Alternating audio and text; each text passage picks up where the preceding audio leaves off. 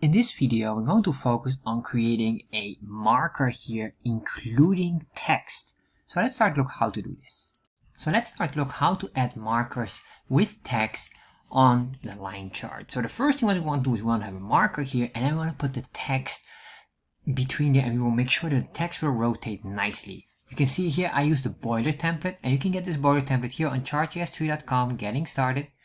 And this link you can find as well in the description box. Once you're on here, just copy this chunk of code. If you want the source code from this video or from many other videos, check out this Patreon page here where I have stored all my source codes of every video. So now, what I'm going to do is, I'm going to scroll down here and start to work on our boiler template. So we have here our basic line chart here. And what I want to do now is I want to create a nice plugin. And I'm going to type in here plugins. Put here, here a bracket because you could have more than one plugin. And I'm going to give this the name the line marker text plugin and I'm going to copy this and then what I will do is just here between I will create a new line marker text uh, plugin block and then I'm going to say a constant line marker text equals then I'm going to give it an ID and the ID will be the same name so it's easy and then when do we want to draw do we want to draw it before we draw the lines or do we want to have it on top in this case, because we're working with text, it'd probably be more practical to have it on top. So I'm going to say here, after the data sets has been drawn, I'm going to put in these items here. Make sure you have a column here. And I'm going to say here the chart object. We're going to have here the arguments and the plugins. And then we're going to work here. Now, what I need is a constant for object destructuring. If you don't understand object destructuring, please check out in the description box the link Understanding Chart.js Object Destructuring. So now I want to have here the CTX. What I will need here is probably the chart area. And we can say here we need the top, bottom, or maybe the height could be as well. And then next we're going to say here the scales. And for the scales we probably need the X scale. And there we are. So now we have this done we can start to draw the line. So first thing I'm going to draw the line, I will do this very quickly. I have another video that explains it all extensively. I'm going to say a ctx.begin path. And in the begin path, because we want to create a new element or shape. Next, what I want to do is I want to give it a color. So I'm going to say ctx.stroke style. I'm going to give this color, oh, let's grab a color here, or let's make it gray, light gray. So it's nice and easy to spot, light gray, there we are. Next, what I want to have here is the thickness of this line. So I'm going to say here ctx.line width, and how many pixels do I want to have it in thickness? Let's say, well, 3, I think maybe even need 10 or 15 pixels. But anyway, let's do 10, so we have enough space for the text later on. Next, what I want to do is I want to draw the line. So I'm going to say here ctx.move to and what I will do is, this is the intent to draw. And the focus is on the intent. So it will not draw yet, but will say where exactly the line should be. So where does where do we want to have the line? Well, let's say we want to put it on Friday. I want to draw, start from here and go all down here. So I'm going to say here, have the X and Y coordinates, but we know that the very top of the chart area, that's this here, so we can put that in here. So next, I need to have the index number, which is 0, 1, 2, 3, 4. So Friday is the fourth of the array, or so uh, index number five, uh, 4. So we're going to say here, we're going to use here a built-in function, which is get pixel for the value, and the value is the index number in this case, index number 4. The moment we have this, if we save, nothing happens because we have an intent to draw and uh, let's see here. It, it does give an error, so let's double check. CTS, that is wrong. Make sure you have CTX because that stands for the context to draw the canvas. And there's another mistake. Interesting. I didn't save this properly, sorry. There we are. Now it works nicely. So make sure CTX. Next thing is I want to have that line going from Friday top all the way to Friday bottom and that is of course just the same item because we have a straight line so I will not adjust this part only down here and say instead of top we have bottom once we did this I want to say ctx.stroke to give the command to draw this shape. Save, refresh. Let me make sure, save. And, oh, of course, my bad. I have here move to, that's not allowed. I need to say here line to. And the reason why is because move to is the starting point and line to would be the next connecting item. There we are. And as you can see here, this is a bit of tricky because the item or the uh, point is starting to change. So maybe it makes more sense to have this before. Save that, refresh. There we are. Now you can see the data set will be drawn after we draw this line here. So of course we're not done because what I want to do now is have some text here and start to work with the text. So what I'm going to do here is I'm going to say here uh, constant angle because I'm going to work with rotations. So I'm going to say math dot pi slash 180 or divide by 180 and the reason why because the pi is 1 pi equals a half circle. 2 pi is a full circle. So half circle is 180 degrees. There we are. And now all I want to do is to get the single degree angle. So we can control this later on easily. So now what I want to do is I want to create some text. Let's create some text. So I'm going to ctx dot font. And this here gives us the font type style and boldness. So let's say we want bold. I want to have 12 pixels. And finally, I'm going to use the font family of sans serif. That looks nice. Next, what I want to do here is to give it a color. So I'm going to ctx dot fill style. And why fill style? Because it will fill up the entire shape of the letters. Basically, it's just a shape or a line shape in a form of a letter. That's basically what it does. So I'm going to say fill style and let's make this black. Just straightforward black. And then what I want to do is I want to start drawing the item. So I'm going to say ctx.fill text. And fill text here, first of all, is the text that I want. Let's, let's say the text. We have the x and then the y coordinates. What I want to do is I want to put it between here so it's in the center. So how do we do this? Well, we need to have this height here because we can calculate the height from this point to that.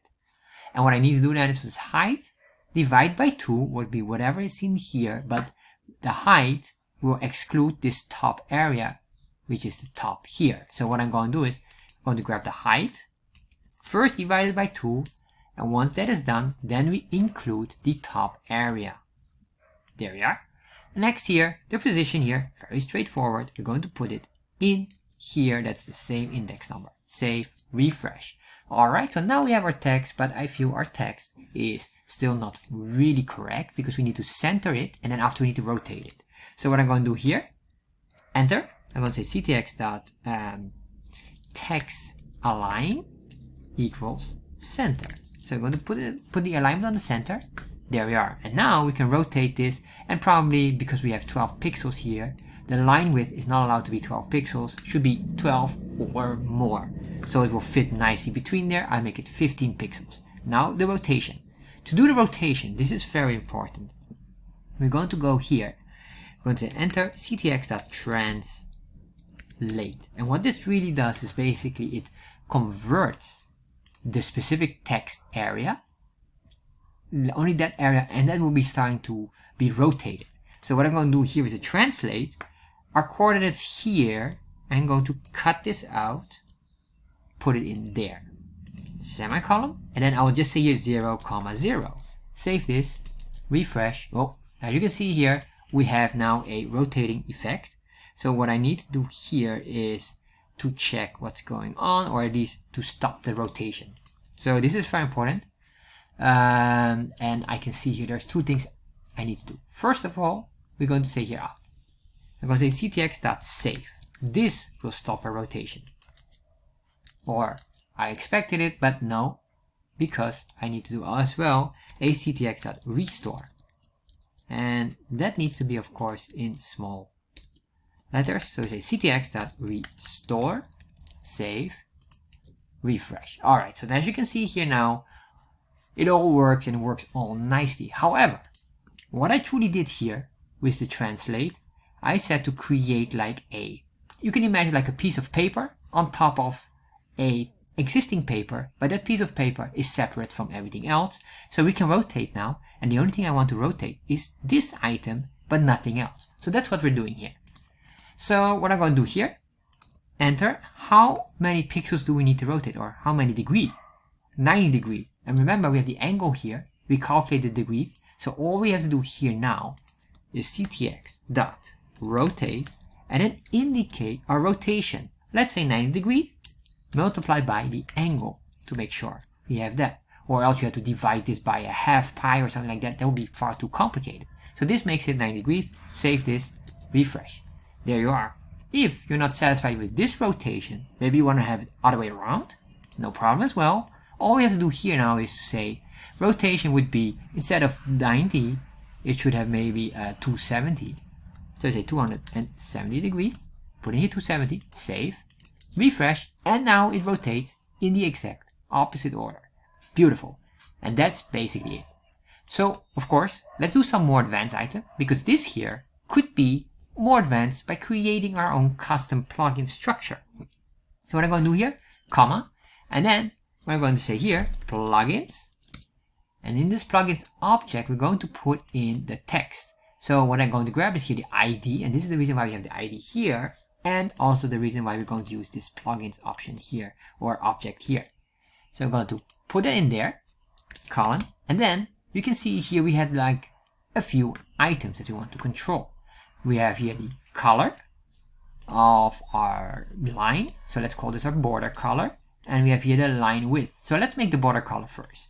So I'm going to say here, border color, and let's make this light, or well, not even light gray, let's make this uh, aqua. I'm just going to grab a unique color so you will see instantly that it works. So then here, all I will say is get the plugins. And this plugins here will understand instantly the, the line marker text ID. And then we're going to get here the border color. Once we have the border color, put that in there, save, refresh, and now you can see here we get the aqua color. Beautiful. Now what I want to do is, let's do uh, the thickness, and of course the text. So what I'm going to do here, comma, I'm going to say here, border width. And the border width will be 3 pixels. Once you have the 3 pixels here, border width, 3 pixels, uh, or 15 pixels, that should be it. So let's put this on, 15 pixels. And of course here, we're going to have the connected value border width. Save, refresh, and you can see here, it just maintains the same position, but now we have a reference. Uh, final item here is probably here the fill color for the text, text color, and whatever the text should be. So I'm going to say here, enter, I'm going to say here, text. Whatever the text will be, let's say hello text, and comma, we're going to say here, uh, just a color. I'll use the term color, and this will be black. But that will be our text color. So now I can say here plugins dot text if I'm not mistaken. Yes. And then here plugins dot color. Save this. Refresh. Hello text. That works nicely. If you want to control this here or bold, let's do that as well. So we have everything. So I'm going to say here bold. Um, it's either normal or bold yeah, or font weight I guess. Font weight that's probably a nicer term. I'm going to put that in here. Like here you can see this is slightly more tricky but don't worry. What we're going to do is we're going to say here we're going to put a backtick and here as well backtick. So we have template literals and I'm going to say here dollar sign curly braces put in the value as bold and then of course we could even do the same here with the font uh, pixels or the pixels of the font size. So let's say here font size. And then I'm just going to put it in here as well. Let's say color here, comma, font size. And to make sure you see that it works, I'll make it 20. So if I save this, refresh, oh, all right, interesting. We get a mistake in here. The font size and the font weight. Let's see what is our mistake. Font weight is not defined. Font weight, copy, go down here. Save, hold on. Alright, my bad. I'm just getting ahead of myself. As you can see here, font weight and font size. Of course, they are a mistake. And the reason why they're a mistake is, of course, we need to have the plugins or else it doesn't know where that reference is coming from. Plugins dot and plugins dot font size and font weight. There we are. And you can see here they're big. But of course, you can see because it's be behind this data set here. So it doesn't overlap or it overlaps or the data set is on top overlapping the text here. So that is basically it. Let's convert this into only 12 pixels, save, refresh. And there we are. Now we have our marker with our text in here.